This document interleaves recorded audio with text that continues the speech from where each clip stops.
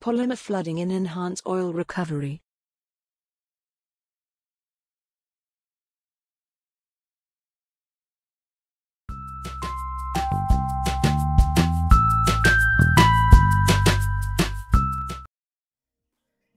Oil and gas recovery operations traditionally have been subdivided into three stages. They are primary recovery, secondary recovery, and enhanced oil recovery.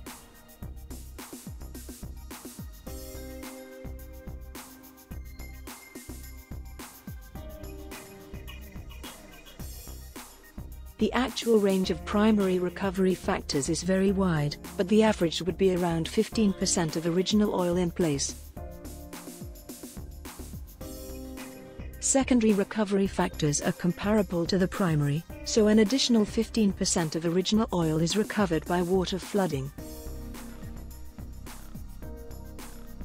This leaves 70% of original oil in place, unrecovered.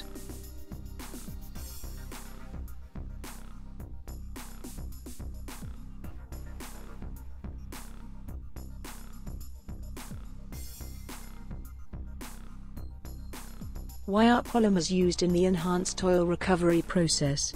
Let us look at some of the fundamentals associated with the efficiencies of the EOR process.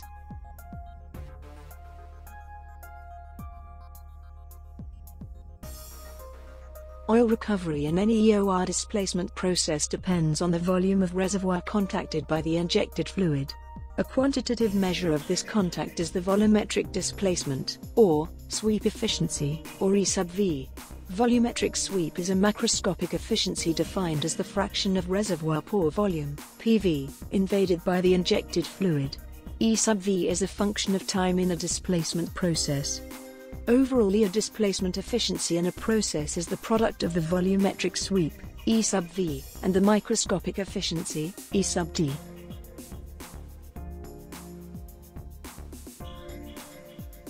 Volumetric sweep efficiency is a product of the areal and vertical sweep efficiency.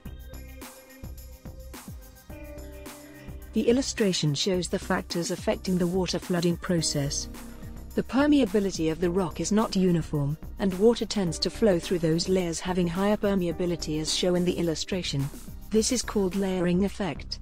Secondly, water being heavier than oil, it tends to slump down, this is called gravity segregation.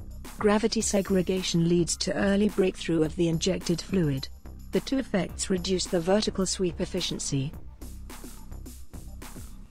From the aerial view, it can be seen that the traditional water flood narrows its course, bypassing a large amount of unswept oil in the displacement zone.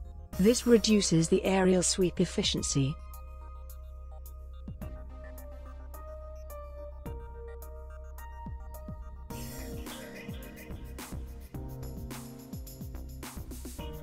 Why does viscous fingering happen?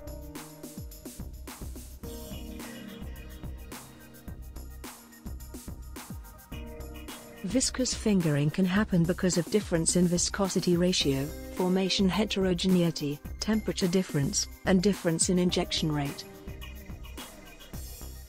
Water that is used for water flood can be modified to improve the sweep of the oil in the displacement process. This can be done by adding polymers, this improves the water flood sweep and displaces more oil than conventional water flooding. A general approach is to inject polymer continuously at the initial polymer concentration for a limited period, reducing the polymer concentration systematically as more pore volumes are injected as shown in the figure. After sufficient polymer has been injected, the polymer slug is displaced through the reservoir by injecting water.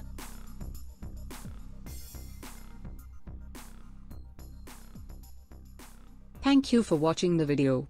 We are committed to bring forth more videos to enrich your knowledge. Please support us by subscribing to the channel and benefit from the videos. Don't forget to press the bell icon to get notified about a new video. Thank you.